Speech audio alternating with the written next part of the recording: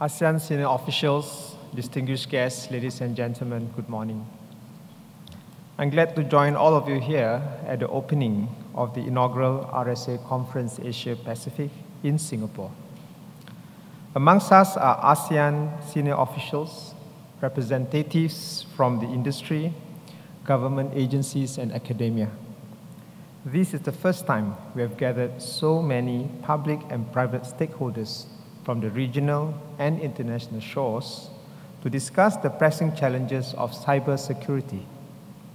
Yesterday saw the successful conclusion of the inaugural ASEAN Senior Officials Roundtable on Cybercrime, or SOC, a platform to facilitate open dialogue between industry and regional government agencies on cybercrime challenges.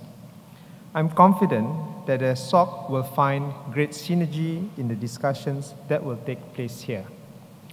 Such multi-stakeholder dialogues are critical as we address security challenges in our increasingly globalized and cyber-connected world.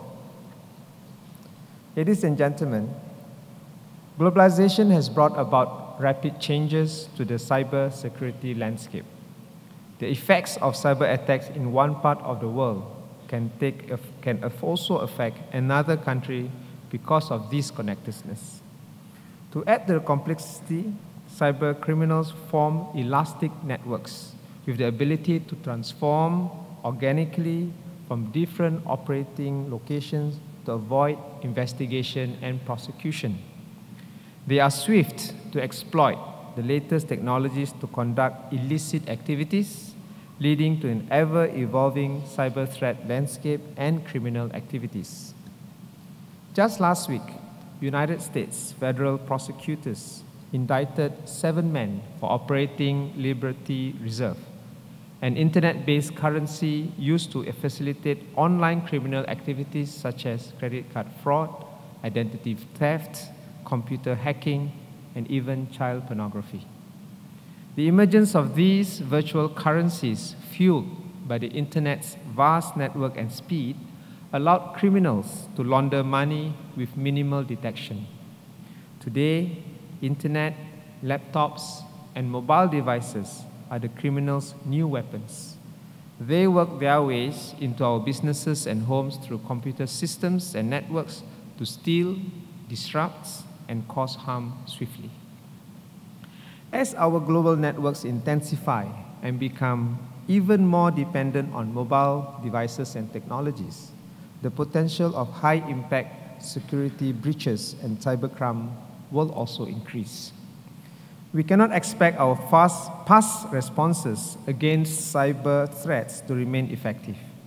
Indeed, frequent rehearsal of our tactics and strategies would make us predictable, fragile, and severely handicapped in a world of increasing uncertainty. In the face of such complex challenges, stakeholders in the information security line must be proactive. Prevention measures are impractical with more than 150,000 viruses and other types of malicious codes in circulation. This is especially so in Asia, as our thriving economies present vast opportunities for cyber criminals to exploit. We must thus have measures that detect, cripple, and attribute the attacks to the source where investigation and prosecution can effectively take place. In order to do this, we should galvanize efforts at four levels. First, international cooperation. The World Economic Forum listed cybersecurity and cybercrime as one of the top five global risks in 2012. To be effective against this global phenomenon, we too must form global collaborative networks. Swift identification, mitigation, and investigation of cyber threats can only happen when countries cooperate to exchange data and, and expertise proactively. The same holds for the private sector. While individual companies need to be competitive to stay ahead, it is imperative to form industry networks of cooperation to tackle common threats. The industry themselves must recognize that true strength against cyber threats lies in close cooperation. Initiatives such as real-time alert systems that warn other industry partners of nefarious activities can strengthen the industry's ability to detect threats early for the collective good. Third, private, public-private sec people sector collaboration, or in short, PPP sector collaboration. The impact and damage of cyber attacks spread across all three sectors. While the government charts a country's wider direction and protect national interests, many of the telecommunication networks, computers, and software are privately owned by commercial entities.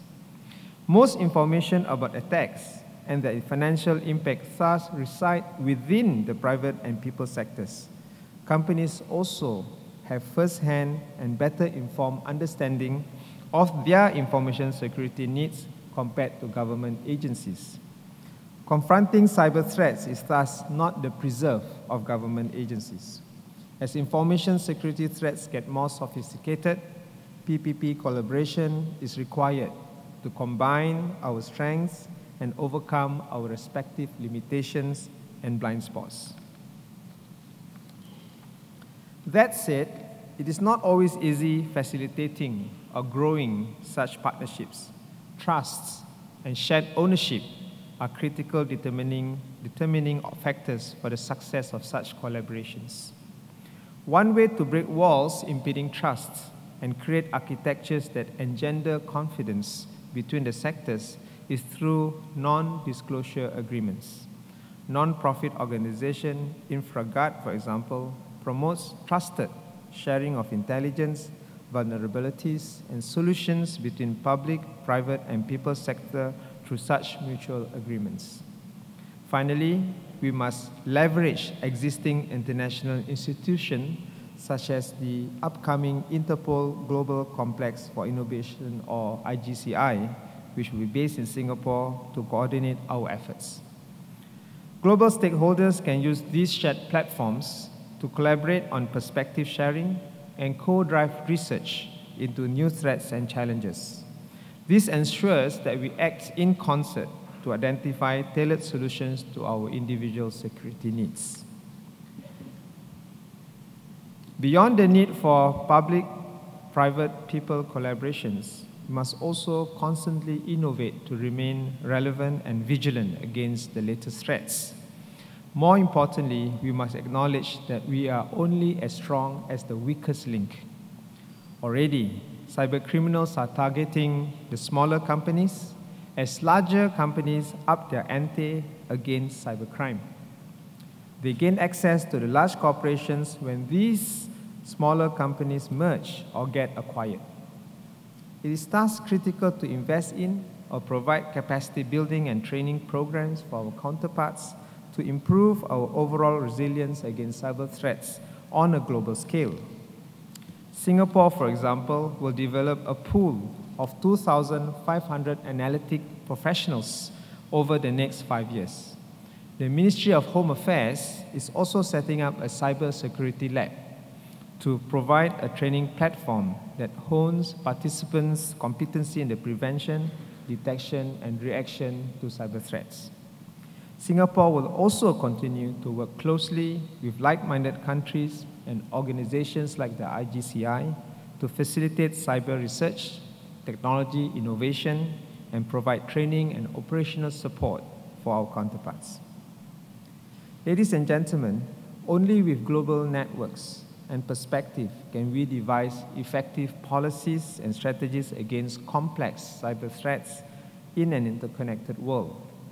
This is why it is heartening to know that conferences with a global footprint like the RSA conference, have expanded their reach to Asia Pacific.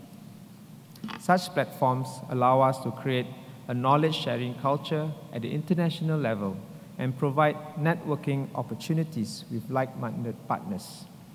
At this conference, we'll study information security from both the security and crime angle with the newly, newly created cybercrime and law enforcement track. Cybercrime is a shared domain, and no organization or government can address the security challenges alone. It's only through a proactive detection and response strategy built on knowledge, trust, and collaboration between public, private, people sector that we can keep our businesses and society safe. In collaborating and working closely with one another, this will form the advantage we will have against cyber criminals. On this note, I wish you all a fruitful and engaging conference in Singapore. Thank you.